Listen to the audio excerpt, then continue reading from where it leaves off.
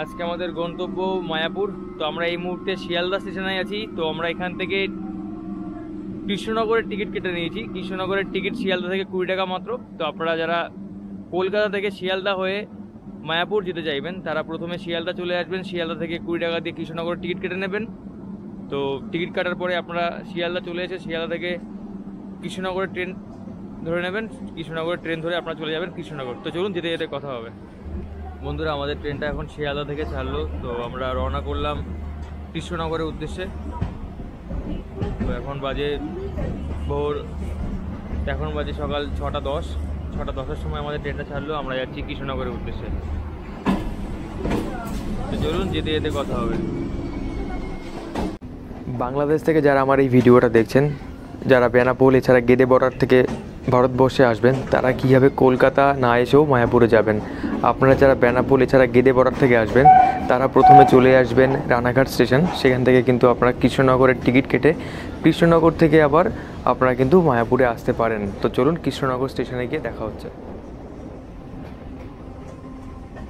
বন্ধুরা, আমরা এই মুহূর্তে কৃষ্ণনগর সিটি জংশনে নেমে গেছি। তো এইখান থেকে আমরা মায়াপুর যাওয়ার জন্য অটোতে উঠে মায়াপুরের সেই যে ঘাট নবদ্বীপ ঘাট সেখানে যাব। তো এই মুহূর্তে আমরা কৃষ্ণনগর সিটি জংশনে আছি। তো আমরা এখান থেকে ব্রেকফাস্ট করব। তো আপনারা যারা মায়াপুর যাবেন এখান থেকে অট- অটোতে উঠে এখান থেকে মায়াপুরে যাওয়ার জন্য অটো নিয়ে নেবেন। এখান থেকে মায়াপুরে যেতে গেলে কত টাকা অটো ভাড়া গো? পঁচিশ টাকা। পঁচিশ টাকা। ওটা কোন কোথায় নিয়ে যাবে তোমরা? মায়াপুর ঘাটে মায়াপুর ঘাট তাই তো? আচ্ছা আচ্ছা। তো যারা মায়াপুর যাবেন তারা এখান থেকে অটো পেয়ে যাবেন। মায়াপুর ঘাট। মায়াপুর ঘাট অবধি যেতে এখান থেকে ভাড়া নেবে পঁচিশ টাকা। তো এটা হচ্ছে মায়াপুর ঘাটে যাওয়ার অটো। বন্ধুরা, আমরা কৃষ্ণনগর থেকে টোটো ভাড়া করেছি। অটো ভাড়া করেছি সরি তো অটো ভাড়া করে আমরা এখন মায়াপুর ঘাটে যাচ্ছি। তো এই যে আমরা অটোতে রয়েছি। তো চলুন মায়াপুর ঘাটে গিয়ে দেখা হচ্ছে। অটো ভাড়া পঁচিশ টাকা। তো বন্ধুরা, আপনারা যারা কৃষ্ণনগর থেকে মায়াপুরে যাবেন, অর্থাৎ মায়াপুর ঘাট পর্যন্ত যাবেন, মায়াপুর ঘাট পর্যন্ত যাওয়ার সময় রাস্তার ধারে দেখবেন একটা ট্রেন লাইন আছে। সেটা কিন্তু এখন বর্তমানে চালু নেই। সেটা সেটা অনেক দিন আগে এই ট্রেন লাইনটা চালু ছিল। তখন যারা আর কি কৃষ্ণনগর থেকে মায়াপুর ঘাট পর্যন্ত যেত, তারা কিন্তু ট্রেনের মাধ্যমে যেতে পারতো। অর্থাৎ এখানে কিন্তু ট্রেন চলতো। বাট সেটা কিন্তু বর্তমানে এখন চালু নেই। এই যে আপনারা দেখতে পাচ্ছেন ট্রেন লাইনটা সাইডে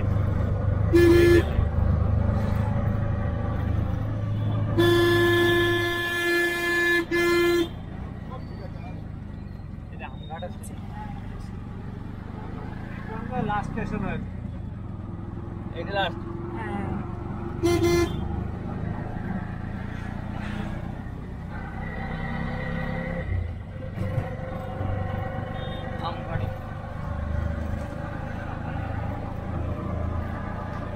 আপনারা যারা কৃষ্ণনগর থেকে আসবেন কৃষ্ণনগর থেকে আসার সময় কৃষ্ণনগর থেকে স্টেশন থেকে বাইরে বেরিয়ে আপনারা মাত্র পঁচিশ টাকা অটো ভাড়াতে কিন্তু আপনারা হুলোরহাট চলে আসতে পারবেন। হুলোরহাটে এসে সেখান থেকে কিন্তু একটা ছোট্ট একটা নদী পড়ে। সেই নদীটা কিন্তু এপার থেকে ওপারে হওয়ার পরে আপনারা কিন্তু সেখান থেকে পায়ে হেঁটে অথবা টোটোতে করে কিন্তু মায়াপুরে ইস্কন মন্দিরে যেতে পারবেন। তো চলুন, আমরা যেতে যেতে পুরো ভিডিওটাতে আপনার দেখাবো আপনারা কীভাবে যাবেন। তো আমরা এই মুহূর্তে হুলোর ঘাটের কাছাকাছি চলে এসেছি। সরি হুলোর ঘাট। আমরা এই মুহূর্তে হুলোর ঘাটের কাছাকাছি চলে এসেছি। তো হুলোর ঘাটে গিয়ে দেখা হচ্ছে, চলুন। তো আমরা এইমাত্র অটো থেকে নেমে এসে এই হুলোর হাটে নামলাম। তো আপনারা এই হুলোর হাটে নেমে যাবেন। হুলোর হাটে নেমে আপনারা এখান থেকে পায়ে হেঁটে আমরা আমি দেখিয়ে দিচ্ছি রাস্তাটা আপনাদেরকে। আপনারা কিন্তু এই যে জায়গাটা রয়েছে, এখান থেকে মায়াপুরের ঘাটের দিকে যাবেন মানে হুলোর হাটের দিকে যাবেন। দেখতেই পাচ্ছেন, এখানে একটা মন্দির রয়েছে। এই মন্দিরের পাশ থেকে কিন্তু হুলের ঘাটে যাওয়ার রাস্তা রয়েছে। মানে হুলোর ঘাট, হুলোর ঘাটে যাওয়ার রাস্তা। দেখতেই পাচ্ছেন, এটা সেই হুলোর ঘাট। তো আমরা সেই হুলোর ঘাটে এখন এসছি। খুবই সুন্দর জায়গা। আপনারা যারা আসবেন, ট্রেনে আস্তে আস্তে সেখান থেকে ক্রস করার পরে প্রত্যেকটা জায়গা আপনাদের খুব পছন্দের মানে পছন্দ হবে। এই মুহূর্তে আমরা যে ঘাটটায় দাঁড়িয়ে আছি, এটা হচ্ছে হুলোর ঘাট। এই ঘাটটা ক্রস করলে ওই পারে যে ঘাটটা, সেটা হচ্ছে মায়াপুর ঘাট। তো এখান থেকে ঘাট পেরোতে কত টাকা নিল মা? ঘাট পেরোতে দু টাকা করে নিয়েছে।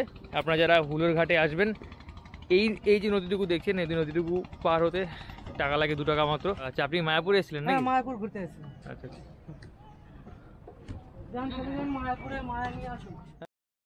আমরা এই মুহূর্তে দাঁড়িয়ে আছি হুলোর ঘাট। তো এখনও পর্যন্ত শিয়ালদা থেকে মায়াপুরের এই হুলোর ঘাট পর্যন্ত আসতে আমাদের টাকা লেগেছে। শিয়ালদা থেকে কুড়ি টাকা তারপরে অটোতে আমাদের মায়াপুরে হুলোর ঘাট পর্যন্ত আসতে টাকা লেগেছে পঁচিশ টাকা, আর হুলোর ঘাট এপার থেকে ওপার হওয়ার জন্য লাগে দু টাকা মাত্র। তো আপনারা ওইটা যেতে দেখতে পাচ্ছেন ওটা গঙ্গা, আর এটা গঙ্গার শাখা নদী, জলঙ্গি নদী নদীটার নাম। তো সাইডে বসুন আমার পড়ে যাবে। তো আমরা এখন এই মুহূর্তে জলঙ্গি নদীর উপর নৌকা দাঁড়িয়ে আছি। তো এটা হচ্ছে গিয়ে হুলোর হাট। তো এই ঘাট থেকে আমরা যখন যাব ওই ঘাটে তো ওই ঘাটটা হচ্ছে কিন্তু মায়াপুর ঘাট। তো চলুন, দেখা হচ্ছে মায়াপুর ঘাটে গিয়ে। আর এই যে নদীটা দেখতে পাচ্ছেন, এটা হচ্ছে গঙ্গা নদীর শাখা নদী। ওই যে সামনে, সেটা হচ্ছে গঙ্গা। ফুলুরহাট থেকে আমাদের নৌকো ছাড়লো, আমরা যাচ্ছি এখন মায়াপুর ঘাটের দিকে। তো আমরা মায়াপুর ঘাটে গিয়ে সেখান থেকে পায়ে হেঁটে অথবা টোটোতে করে আপনারা মায়াপুর ইস্কন মন্দির অব্দি যেতে পারবেন। তো চলুন মায়াপুর অব্দি গিয়ে তারপরে আমরা আপনাদেরকে পুরো ডিটেলস জানাচ্ছি গিয়ে কীভাবে আপনারা যাবেন মায়াপুর থেকে। চলুন দেখা যাক। আপনারা দেখতেই পাচ্ছেন এই যে নদীটা, এই নদীটার নাম হচ্ছে জলঙ্গি। আর সামনে যে নদীটা দেখতে পাচ্ছেন, যেটা মিলছে, সেখানে রয়েছে গঙ্গা। তো এই দুটো নদীর যে মিলিত যে জায়গাটা রয়েছে, সেখানে একটা খুব অদ্ভুত একটা দৃশ্য দেখা যায়, যে যদিও এটা সাধারণ একটা ব্যাপার যে এই নদীর যে জলের কালার আর গঙ্গার জলের কালার কিন্তু আলাদা। তো সেই কারণে দুটো জলের যে মিল, দুটো অমিল সেখানে থেকেই যায়। মানে অর্থাৎ গঙ্গার সাথে এই জলটা কিন্তু ম্যাচ খায় না। তো সেখানটা একটা অদ্ভুতভাবে দুটো আলাদা পার্থক্য দেখা যায়, ওই সামনে গেলে।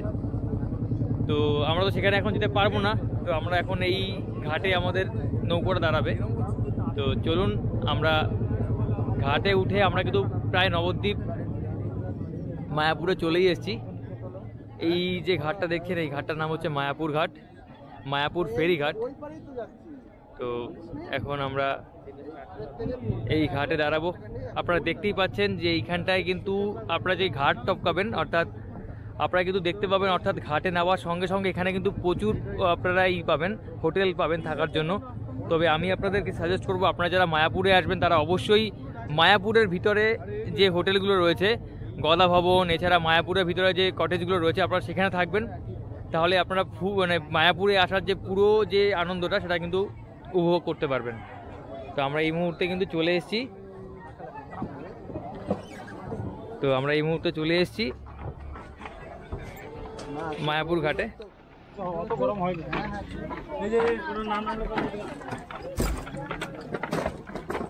আমরা কিন্তু মায়াপুর ঘাটে চলে এসেছি। ঘাট থেকে ওঠার পরে এখানে কিন্তু অনেক দোকান আপনারা দেখতে পাবেন। দেখেন এখানটা কিন্তু অনেক দোকান রয়েছে। এই হচ্ছে লঞ্চ ঘাট। তো দেখেন, এখানে অনেক দোকান আপনারা পাবেন। আপনারা যারা কালীঘাট গেছেন বা দক্ষিণেশ্বরে গেছেন, সেরকম একটা ব্যাপার দেখতে পাবেন মায়াপুরের। এসে।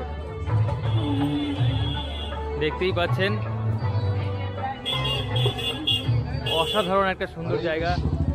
বাইরে থেকে আগত সমস্ত তীর্থযাত্রীদের নবদ্বীপ ফেরিঘাট ও নবদ্বীপ পৌরসভার পক্ষ হইতে জানাই আন্তরিক প্রীতি শুভেচ্ছা ও অভিনন্দন।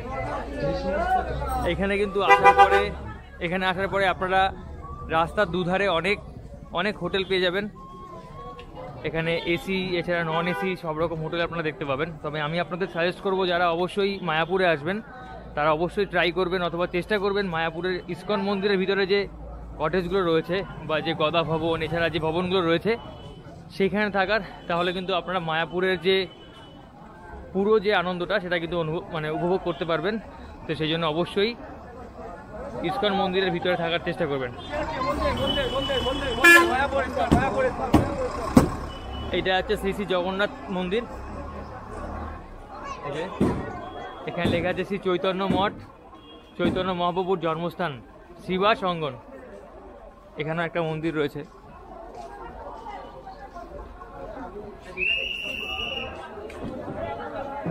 তো আমরা কিন্তু, এই আপনারা কিন্তু মায়াপুর ঘাট থেকে মানে মায়াপুর ঘাটে আসার পরে আপনারা কিন্তু এইখান থেকে টোটো টোটোতে করে কিন্তু আপনারা যেতে পারেন। তবে সেই ক্ষেত্রে আমি আপনাদের সাজেস্ট করব আপনারা যারা মায়াপুর ঘাটে আসবেন মায়াপুর ঘাট থেকে একটু কিছুটা এগিয়ে গিয়ে সেখান থেকেও টোটো নেবেন। সেই ক্ষেত্রে কিন্তু আপনাদের সেই ক্ষেত্রে আপনাদের দশ টাকার ভিতরে কিন্তু আপনারা মায়াপুর পুরো মন্দিরে ইস্কন মন্দিরের সামনে যেতে পারবেন। আর যদি আপনারা এইখান থেকে টোটো নেন তাহলে কিন্তু আপনাদের কাছ থেকে পঁচিশ টাকার মতো ভাড়া নেবে। কত এখান থেকে মায়াপুরের? মেন পঞ্চাশ টাকা। মেন গেটে আচ্ছা ঠিক আছে। তো আমরা মায়াপুর মায়াপুর ঘাট থেকে আমরা টোটো বুক করেছি, সেখান থেকে যাচ্ছি আমরা। তো মায়াপুর ঘাট থেকে ইস্কন মন্দির পর্যন্ত টোটোতে যেতে আপনারা যারা রিজার্ভ করে যাবেন, সেই ক্ষেত্রে পঞ্চাশ টাকা লাগবে। আর যারা সিঙ্গেল পার পার্সনে আসতে চাইবেন, তাদের কিন্তু দশ টাকা করে টোটো ভাড়া। হুলোর হাট অর্থাৎ জলঙ্গি নদী ক্রস করার পরে আপনাদের যে মায়াপুর গেট পর্যন্ত যাওয়ার যে রাস্তাটা, সেটা বর্তমানে খুব একটা যে সুবিধাজনক তা বলব না।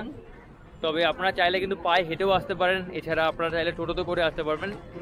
তবে টোটোতে করে আসতে গেলে আপনাদের সেখান থেকে যদি গাড়ি মানে টোটো যদি বুক করে আসেন, সেই ক্ষেত্রে পঞ্চাশ টাকা ভাড়া। আর যদি সিঙ্গেল মানে যদি একা একা সিঙ্গেল আসতে চান, তবে সেই ক্ষেত্রে মাথা পিছু কিন্তু দশ টাকা করে ভাড়া পড়বে। টোটোতে উঠলেই দশ টাকা ভাড়া, কিন্তু যদি আপনি রিজার্ভ করেন, সেই ক্ষেত্রে কিন্তু সেটা পঞ্চাশ টাকার মতো ভাড়া পড়বে। আচ্ছা দাদা, তোমার কাছে একটা প্রশ্ন করব? তুমি তো এখানকার? হ্যাঁ। তো এটা এটা কি মন্দির? হ্যাঁ? মাধব মহারাজের মঠ মাধব মাধব মহারাজের মঠ তাই তো? আচ্ছা। আমি দেখাই। এখানেও একটা মন্দির তৈরি হচ্ছে দেখতেই পাচ্ছেন। তো এইটা হচ্ছে ঘাট পেরোনোর পরে ঘাট পেরোনোর পরে মায়াপুর গেট পর্যন্ত যাওয়ার আগে যে রাস্তাটা সেই রাস্তার আশেপাশের দৃশ্য। আপনারা দেখতেই পাচ্ছেন আশেপাশে অনেক মন্দির রয়েছে। এটা গৌরীয় মঠ, শ্রী চৈতন্য গৌরীয় মঠ। এখানে আরেকটা বড় মন্দির তৈরি হচ্ছে। দেখেন, শ্রী চৈতন্যদেবের জন্মস্থান কোথায়? শ্রী চৈতন্যদেবের জন্মস্থান হচ্ছে মায়াপুর। তো বন্ধুরা, আপনারা দেখতেই পাচ্ছেন, আমরা কিন্তু ইতিমধ্যে মায়াপুর চলে এসেছি। আপনারা সেই মন্দিরটা দেখতে পাচ্ছেন। আপনারা যারা এখনও মায়াপুরে আসেননি, তারা অবশ্যই একবার মায়াপুরে আসবেন। মায়াপুরে এসে মায়াপুর নামটাই এই কারণে দেওয়া হয়েছে, আপনি এখানে আসলে অবশ্যই মায়া পড়বেন। তবে এই মুহূর্তে রাস্তার অবস্থা বেজায় খারাপ, আমরা আজকে আমি যে ডেটে এসেছি, এটা দু হাজার একুশ সালে। আজকে কত তারিখ? চব্বিশ তারিখ। আমি আজকে যে আমি আজকে যে ডেটে মায়াপুরে এসেছি, আজকে ডেট হচ্ছে দু হাজার একুশ সালে চব্বিশে অক্টোবর। তো দেখতেই পাচ্ছেন রাস্তার এই মুহূর্তে, রাস্তার কন্ডিশন কীরকম।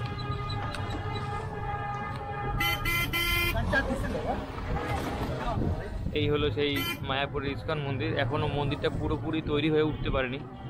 আসলে আমি প্রায় দশ বছর আগে একবার আগে মায়াপুরে এসেছিলাম। তখন আমি দেখেছিলাম এই মন্দিরটা তৈরি হচ্ছে। এখনও পুরো তৈরি হয়ে পারেনি।